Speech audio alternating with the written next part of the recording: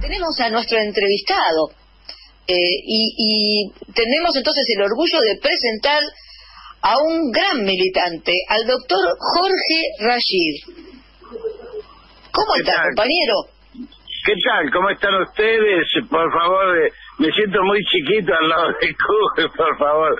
Eh, mi homenaje, mi, mi, mi, recuerdo y además de haber conocido a Alicia Guren, a él no lo conocí, no llegué a conocerlo, pero a Alicia Guren, su, su mujer, sí, en la CGT de los argentinos durante muchos años hasta que después fue desaparecida, ¿no? Claro, eh, recordábamos recién antes en una editorial desaparecida en el año 1977. Creo que eh, la desaparecen en Uruguay.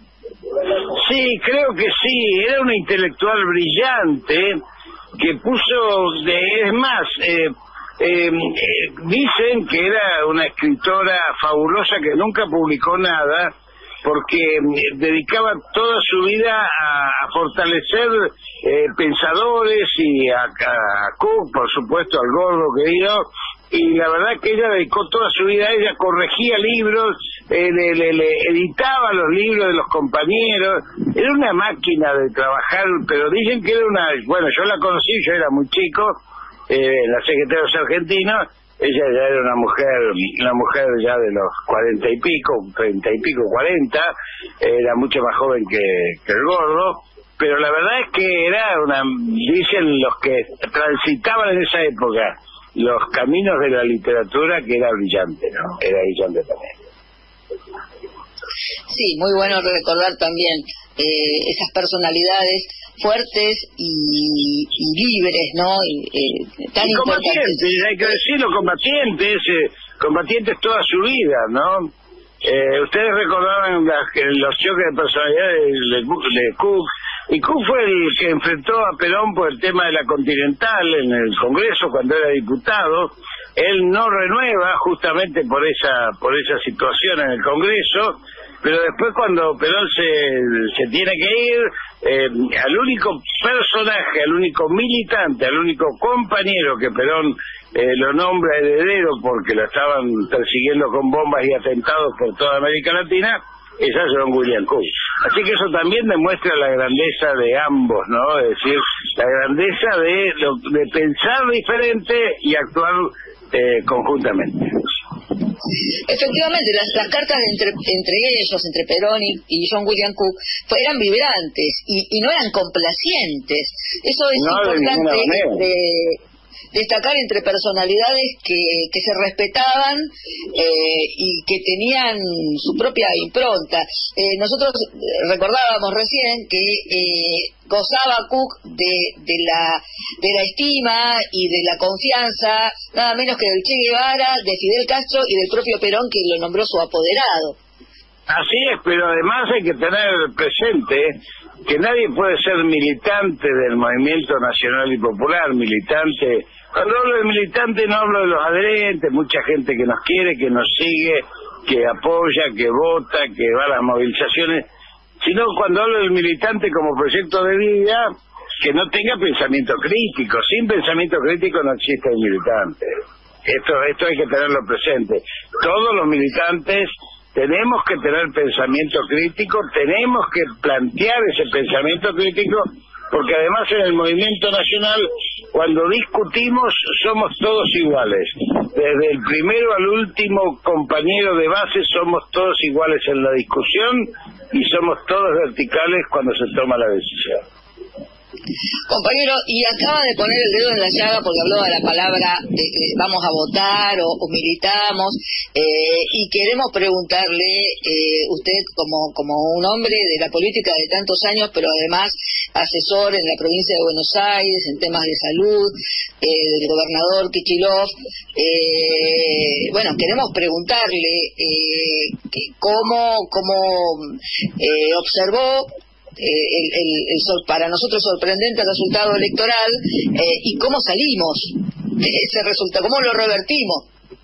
Bueno, bueno, miren, eh, la verdad es que eh, hubimos muchos no sorprendidos, eh, nosotros incluso en la, en la reunión nuestra hicimos de alguna manera un PRODE que se hace siempre los viernes antes de las elecciones, eh, justamente, eh, perdón lo autorreferencial, pero yo y otro compañero fuimos los dos que decíamos que perdíamos las elecciones, porque había un dato muy claro de la realidad, era un dato que golpea muy fuertemente a la familia argentina eh, además, observando el panorama a nivel internacional, no hubo ningún gobierno, eh, ningún oficialismo prácticamente ganador de la pandemia, porque los pueblos expresan sus miedos, pero también sus angustias, expresan también aquello que produce mucho dolor y que le pedíamos al gobierno a fin de año que no podía dejar de,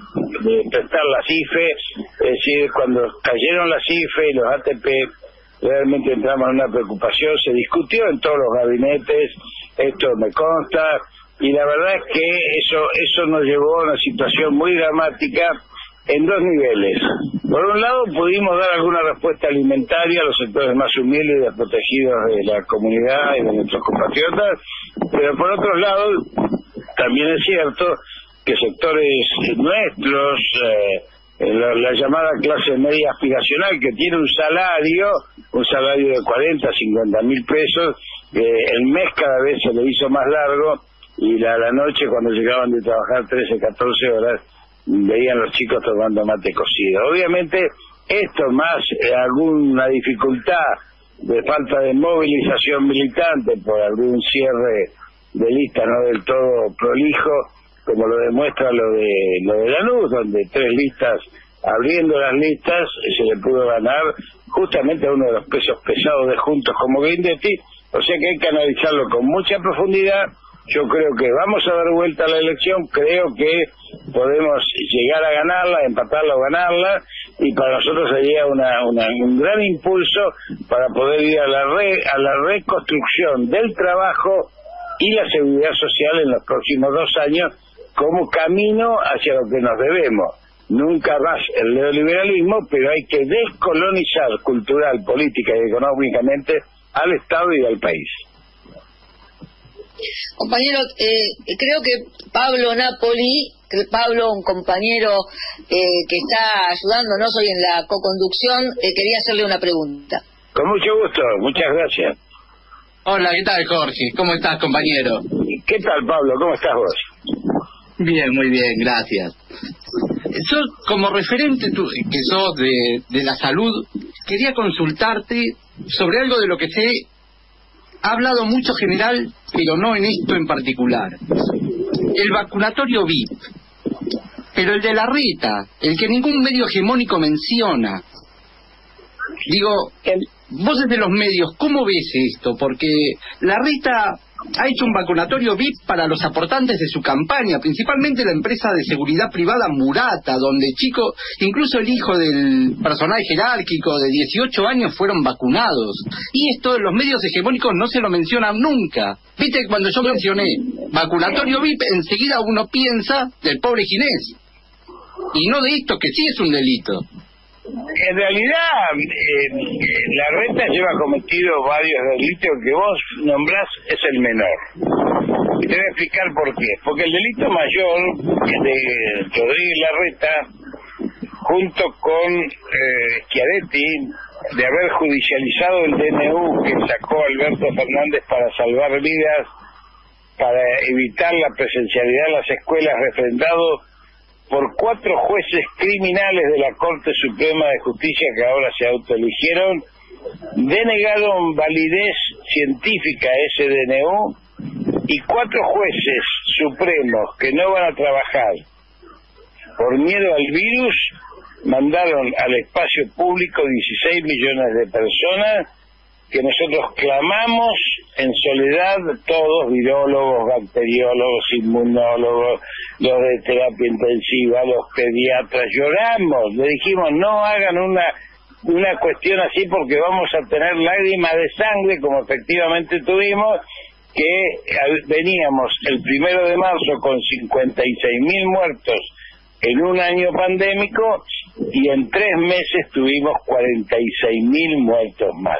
O sea, primera mención, por eso te decía que lo que nombraba es lo menor, es criminal lo que hicieron. Los cuatro jueces supremos que deberían haber renunciado en vez de autoelegirse y la reta junto con Schiavetti y otros negacionistas que son responsables de miles y miles de muertes de argentinos que no deberían haber muerto porque estábamos tratando de ganar tiempo para avanzar en nuestra campaña vacunatoria a nivel nacional, como se demostró con la, la postergación de las pasos, donde pudimos vacunar 12 millones de argentinos más en ese poco tiempo y además pudimos dar ya hoy prácticamente un muro de contención al virus circulatorio. Pero después hizo otra cosa que es peor que la que vos nombras, que fue privatizar las vacunas que le entregamos desde Nación cuando se las entregó a las prepagas, negocio que hicieron las prepagas, también aportantes a su campaña, porque con las vacunas en su poder, todas las prepagas comenzaron a, conseguir más adherentes a esos prepagos que realmente son cajas de seguro, entes financieros, pimba financiera. Y por último, con respecto a lo VIP, obviamente yo tampoco creo que eh, haya que es, un invento esto del VIP, porque lo que hizo Rodríguez, compañero el chinés González García, que le costó el cargo, fue simplemente algo que tampoco debe hacerse en la política, que es amiguismo eh, vacunó a, algunos amigos, además algunos que correspondían por la edad, pero obviamente ese amiguismo a veces hace que uno pierda pierda la, la ubicación y esto desgraciadamente le costó el puesto a uno de los mejores ministros de salud que ha tenido la Argentina en su historia, comparable hoy a cualquiera de los grandes ministros que podemos nombrar de, de Carrillo, Alvarado, Ferrara, Testa, que no fue ministro, Goyán, o, otros eh, personajes de esa característica, más allá de pequeñas diferencias que podamos tener. Realmente fue muy lamentable que haya tenido que salir el gobierno chinés, pero indudablemente por lo que vimos después, si lo dejábamos una semana, lo destrozaban, por, todavía hoy le siguen haciendo escacho al pobre, al pobre chinés y obviamente tenemos que salir todos a defenderlo. Los medios nunca van a nombrar eso porque los medios hegemónicos fueron el ariete que atacó todas las políticas sanitarias en la Argentina desde el momento mismo de la pandemia. Ahora te consulto, ¿vos percibís que en el mundo los medios de comunicación han trabajado contra el sistema de salud como se hizo acá? ¿En algún otro lugar del mundo vos viste eso? Eh, mirá, en, el mundo las consignas filonazis, libertarias, eh, anarquistas, extremistas, siempre marginales, nunca fueron, como en la Argentina, encaradas por el principal partido de la oposición. En la Argentina, el principal partido de la oposición, que tiene aspiraciones de poder, fue la expresión de esos grupos que en otros lugares del mundo son absolutamente anarquistas, marginales y filonazis. Hoy la Argentina sufre que esa mayor oposición, como en el resto de América Latina, es encarnada de esa manera. Los medios dejaron de ser medios de comunicación en la Argentina, como en otros lugares del mundo, porque son comprados por los fondos de inversión buitre, los mismos que compran las patentes, como el fondo BlackRock, que compra Pfizer, laboratorios, laboratorios farmacéuticos, que compran además eh, las patentes, en algún caso como el Sofosbuvir, pagan 11.200 millones de dólares para quedarse con una patente monopolizada en el mundo. Esta lucha realmente ha tergiversado la salud a nivel internacional, le ha permitido a ese fondo como BlackRock ser socio de, MDN, de Paul Singer y Donald Rumsfeld, y que además maneja 1.700 empresas, la mayoría de los cuales son empresas farmacéuticas, de industria militar y de servicios, y, un porcentaje muy alto de, de ex medios de comunicación que los usan obviamente para atacar las políticas que ellos denominan populistas, marxistas, socialistas, terroristas o narcotraficantes. Compañero, eh, te quería hacer una pregunta, Graciela Sassano, que forma parte del equipo. Hola, ¿qué tal, Jorge? Buenas tardes. ¿Cómo le va, Graciela? el tema de la provincia, ¿no? ¿Cómo piensan desde la provincia llegar a todos esos compañeros que se sintieron defraudados, que no creyeron en nosotros y que ahora eh, nosotros le vamos a dar una respuesta que sea duradera y no simplemente electoral, que vuelvan a estar unidos a lo nuestro, a nuestro pensamiento. ¿De qué manera vamos a poder lograr eso? Eso se hace con militancia. Nosotros tenemos la obligación de tener un plan de contingencia de acá dos meses tenemos que tener la obligación de tener una planificación estratégica a dos años y tenemos la obligación de hacer un plan por lo menos quinquenal que nos permita llegar a los próximos cinco años con un proceso de descolonización. Pero para eso no no no tenemos que caer en dos o tres cuestiones que esto se ha discutido mucho, que es el tema de lo que algunos venimos planteando, de no caer en la agenda del enemigo. No hay que discutir más la agenda del enemigo, que digan lo que quieran. Eh, una decían los griegos que cuando se instala un mito eh, ese mito no se puede rebatir con respuestas racionales. Y es lo que estuvimos haciendo durante dos años. Intentamos explicarle a las tapas de Clarín, ni más ni menos, la nación, enemigos, son enemigos de la patria y del pueblo, al servicio de intereses que obviamente intentan conservar el estado de privilegio y por significando que ni siquiera se pueden mover dos jueces a sus curiles naturales, y los compañeros no encuentran herramientas para plantear la política desde otro lugar. Y yo creo que hay que plantearlo desde otro lugar, hay que plantearlo de la recuperación de los sueños, de las utopías, de volver a plantear cómo vamos encaminando un proceso de liberación nacional en la Argentina de la patria, patria grande, y esto me parece que es uno de los desafíos intelectuales, políticos, ideológicos y filosóficos más fuertes que tenemos en los próximos dos años. La formación de cuadros, que es a lo que yo me dedico exclusivamente, me parece que es la única herramienta que va a seguir siendo capaz de darle vida a un peronismo filosófico que sigue dando respuestas a la demanda de la hora actual, que le falta militancia comprendiendo aquello que Perón nos enseñó, que la política es la política internacional.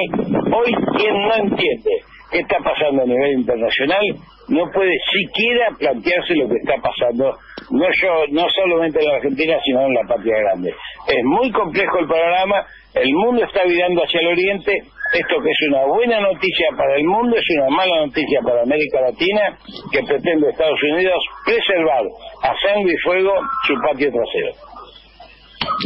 Compañeros quedamos eh, siempre enormemente agradecidos por estos conceptos que, nos brinda con esa generosidad que tiene siempre, con tanta claridad y, y, para que lo podamos replicar hacia, hacia nuestra audiencia, que es audiencia de compañeros.